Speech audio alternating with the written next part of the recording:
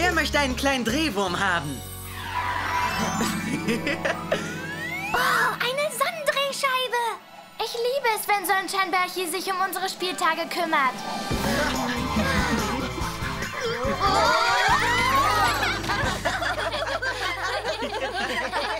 Sonnenscheinbärchen, das hat sehr viel Spaß gemacht. Schön, dass es dir gefallen hat.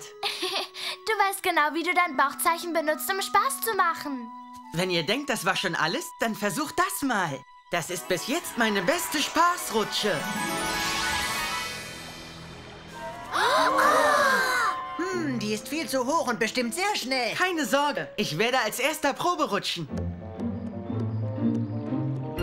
Wow!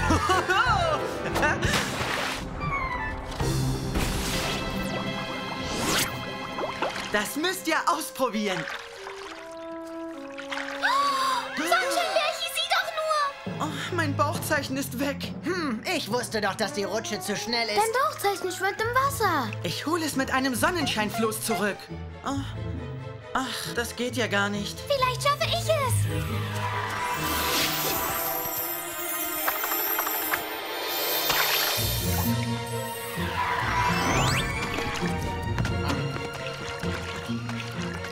Nein, teile gern Bärchi, du musst so paddeln wie ich.